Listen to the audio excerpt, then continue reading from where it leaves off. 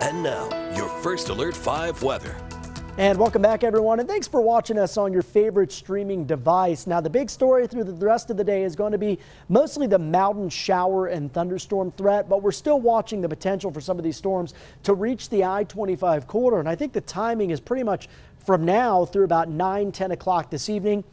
Don't really think we're going to see a lot of severe storms. It's still an isolated chance with large hail, one of the threats, and also wind gusts if those storms develop to around 60 miles per hour. So today it's really been a tale of two different cities or two different air masses, if you will, with that analogy. East it's been very sunny, no rainfall at all today across the eastern plains, but west, the mountain area is getting hammered from slow moving storms.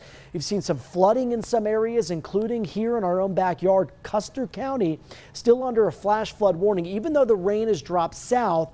A lot of rain fell in a short amount of time around Westcliffe. Custer County Emergency Management did report flooding in that area as well as across parts of the Wet Mountain Valley.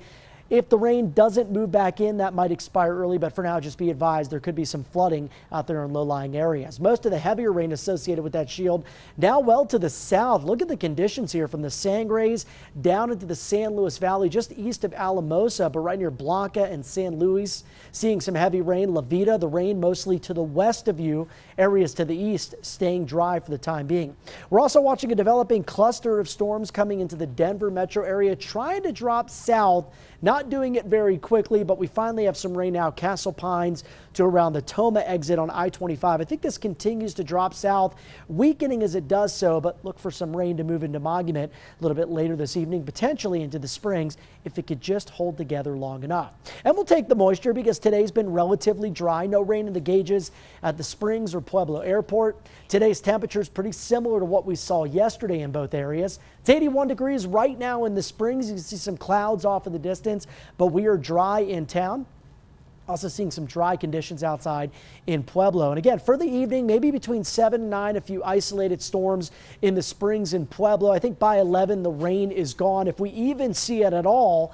And then as we head into Tuesday morning, starting out little different than what we saw through the holiday weekend. Remember the bright blue skies we saw Saturday, Sunday, even today? Well, tomorrow looks to be partly to mostly cloudy early as a cold front sweeps into the region. This is going to bring in some changes. I mentioned that going into the commercial break.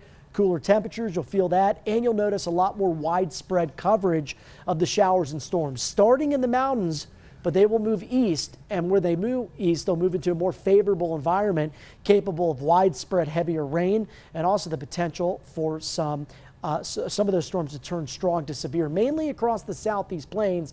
That's where we'll be watching the biggest potential. All right, lows tonight down to the 50s, Woodland Park to Monument.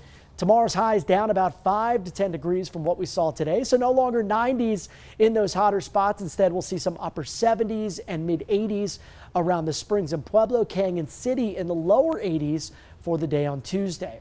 We then warm back up as we head towards Wednesday, getting hot by Thursday and Friday. For Pueblo, 80s here with some cooler air Tuesday to Wednesday, but could be up near triple digit territory by Friday. Cañon City, 80s through Wednesday, 90s through Friday, and then back down by the weekend.